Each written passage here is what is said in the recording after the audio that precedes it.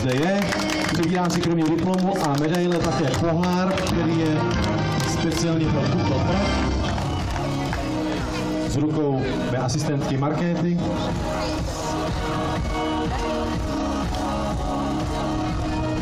Ještě jednou velký potlesk, toto jsou opravdu vítězové. Takže pánové, blahopřejeme vám, děkujeme. Vyfocení už možná i jste, takže díky. A my se tak zhruba za hodinku, ale neberte mě příliš vážně, sejdeme opět, abychom si vyhlásili výsledky půlmaratonu. K jeho zpracování samozřejmě ještě nám nějaká minuta zbývá. Takže děkuji za pozornost.